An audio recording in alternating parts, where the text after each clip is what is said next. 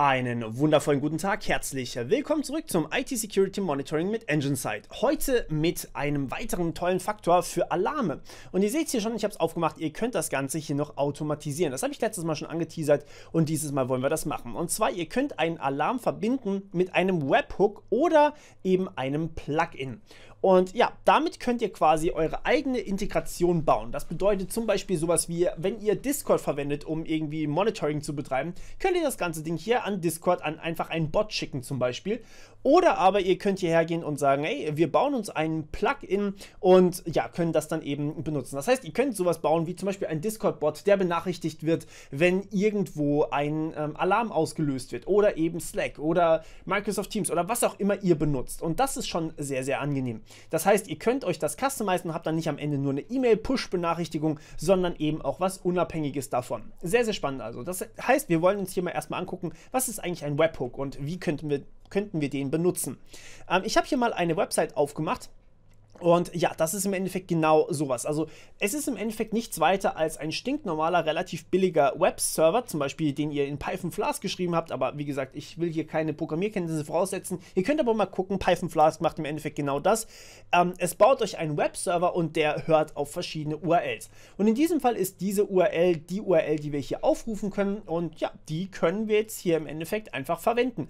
Und wenn wir die jetzt einfach in unseren Browser einfügen würden, dann wäre das, als hätten wir einen GET-Request Request an diese URL geschickt. Das heißt, wenn ihr wollt, einfach mal diese URL im Browser einfügen. Machen wir jetzt hier allerdings nicht.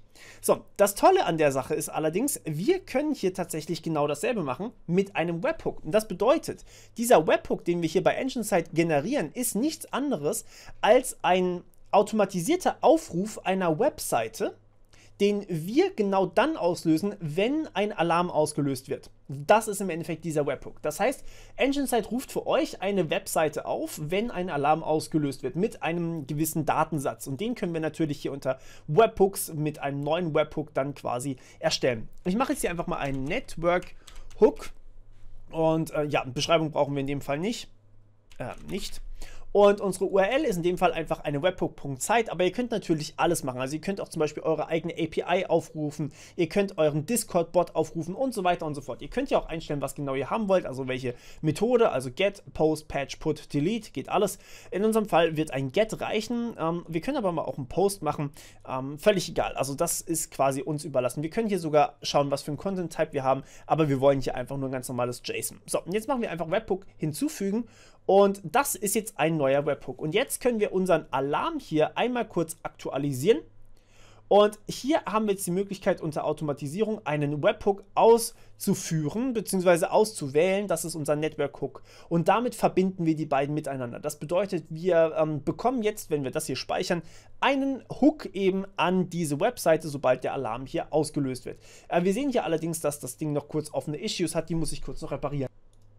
So, jetzt können wir hier einmal ganz kurz hergehen und einmal die Änderungen speichern und damit haben wir einen Webhook eingebettet in unseren Alarm. Das heißt, wenn wir hier das natürlich aktualisieren, sehen wir hier unter Automatisierung genau diesen Network Hook und ich habe jetzt hier das Ganze mal beseitigt und ich werde jetzt mal in der VM ein bisschen was starten. Zum Beispiel ein Video von mir, das ich gucken möchte.